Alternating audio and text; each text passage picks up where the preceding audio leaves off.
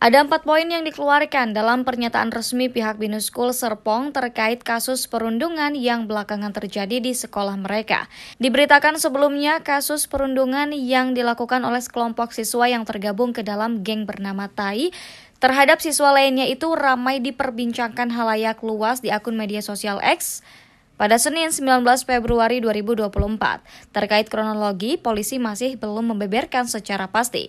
Namun Humas Binus School Education Haris Suhendra memberikan pernyataan resmi pihak sekolah terkait aksi perundungan tersebut. Pihak sekolah sangat menghargai adanya simpati publik yang sangat tinggi pada insiden bullying yang terjadi terhadap siswa Binus School Serpong. Kejadian ini dikatakan Haris tentu sangat memberatkan bagi korban dan orang tua korban, serta menimbulkan keprihatinan dari seluruh komunitas sekolah. Sebagai bagian dari komitmen pihak sekolah untuk mendukung transparansi dalam insiden ini, Haris pun menyampaikan fakta-fakta utama terkait insiden tersebut sebagai berikut.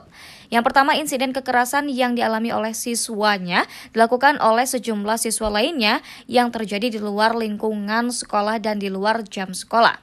Yang kedua, setelah mengetahui insiden tersebut, pihak sekolah melakukan investigasi secara intensif. Seluruh siswa yang terbukti melakukan tindakan kekerasan sudah tidak menjadi bagian dari komunitas Binus School. Sejumlah siswa lain yang turut menyaksikan kejadian tersebut tanpa melakukan tindakan pencegahan maupun pertolongan juga telah mendapatkan sanksi disiplin keras.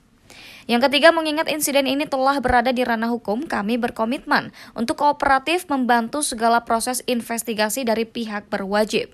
Yang keempat, menyadari bahwa insiden ini melibatkan anak-anak di bawah umur, Pihak sekolah memohon pengertian dari seluruh publik terhadap posisi sekolah untuk tidak dapat membagikan detail terkait privasi baik korban maupun semua yang terlibat dalam insiden ini. Di akhir kalimat, pihak sekolah sama sekali tidak membenarkan segala bentuk kekerasan. Fokus utama sekolah saat ini adalah untuk memberikan dukungan dan pendampingan yang dibutuhkan oleh korban dan keluarga.